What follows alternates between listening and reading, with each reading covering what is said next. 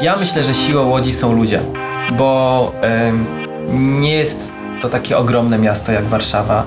Jednak wszyscy działający w branży, jakby to nie mówić, no, kreatywnej, znają się i e, w jakiś tam sposób pom- pomagają sobie. Zaproszenie na wesele. Proszę, co tam masz? No to są zdjęcia Wimy. Możemy sobie tutaj korzystać i współpracować z bardzo wieloma miejscami, no nie? Tak, to jest taka mała wioska w dużym mieście, że w zasadzie e, dla takiej działalności, jak my prowadzimy, dla, dla, dla małej firmy odzieżowej, to jeżeli człowiek się troszeczkę chociaż postara, to nawet może stąd w ogóle się nie ruszać, bo jest tutaj i studio graficzne, pracownia druku, studio fotograficzne. Nad nami jest przedszkole i szkoła, takie wolnościowe, więc też Wolność. można Zostawić dziecko. stawić dziecko iść do pracy.